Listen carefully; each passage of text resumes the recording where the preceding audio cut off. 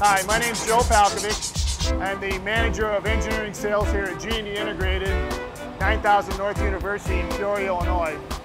Standing in front of our new paint system and would like to talk about the uh, CPR wash system we have, our capacities, and the type of parts we run through it. The part right here is about a 4,400 pound part that we have that we can hang from the monorail the booth itself, uh, we can whatever we can drive into with a fork truck. We have weight capacities, 20,000 pounds, whatever will fit. So if you'd like to now, we'll go talk about the CPR wash system. Here we are, we're standing in front of the uh, CPR system's uh, pre-treatment wash. This is our uh, Bondtite pressure washer, runs uh, around 3,000 PSI, 180 degree Fahrenheit water, which does a great job removing all the dirt, grease, oil from everything.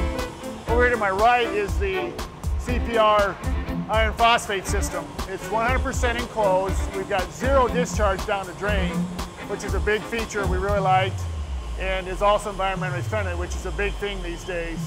It's done a great job on all of our cast steel and cold rolled steel parts for paint adhesion. The iron phosphate's done a good job on corrosion resistance. Customers love it, basically. It is a one-step system, which is unique. There's no rinse, and we get great paint adhesion. Our customers have loved it to date. Works fine. The iron phosphate's done a real good job with corrosion resistance, and we've had great luck with it. We just love the system. Here's our uh, spray wash booth. It isn't just a spray wash booth, it's also used for inspection. Uh, it's a powder coated steel booth. Uh, it was designed to be a paint booth. We've got good inspection lights in it, so it's worked out great.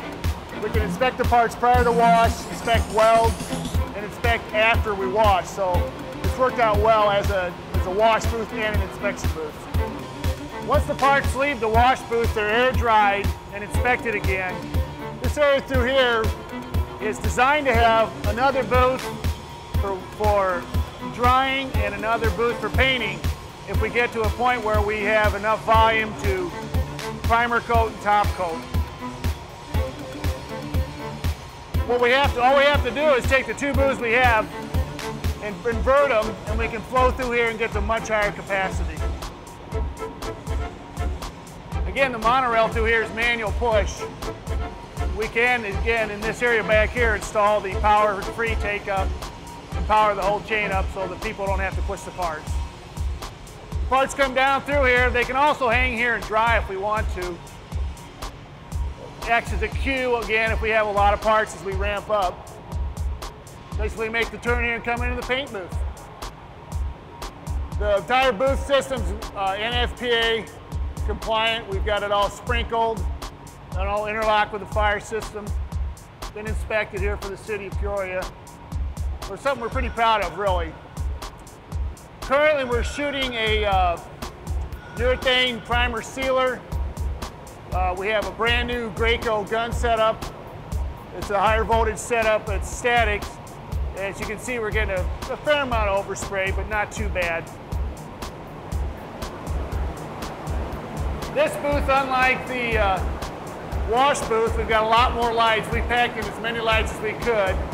And again, we've got, I think, 18 feet to the rail here, and we're 24 feet long. Uh, we can do automotive quality finishes if we need to. We do multiple colors. We do uh, primer sealer base coat. We do top coat. The room here that we drive through here,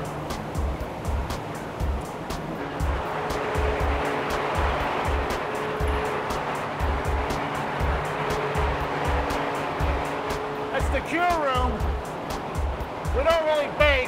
Baking is about 400 degrees. We run it up to about 120 just to speed things up a little bit. These are pretty small parts, but it's still in pretty good shape. Right now, the, the, the system's designed to do 20 foot long parts. The cure room's designed to do two 20 foot parts back to back.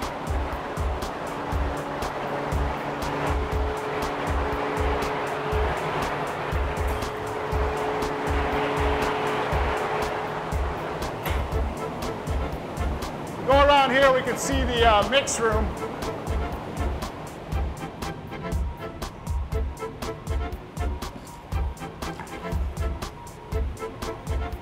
Again, the mix room's NFPA 33 compliant. It's sprinkled. Currently we're set up to do uh, five gallon buckets. Got our OSHA approved storage and we've got a five gallon and one gallon paint mixer in there. There's the Graco pot. Uh, we start out with their, I think they're two kV guns. I think we're up to four or eight kV electrostatic guns. They're working out really well for us. This is our load unload area. We'll be loading on that bridge crane, unloading on this bridge crane, and I believe we get a jib crane right here.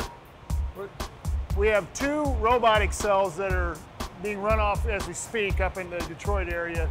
One will be underneath the east crane and one underneath the west crane here. The robot cells are again designed to do very large parts. They've got a 20 foot span between the trunnions and a 4,000 pound capacity.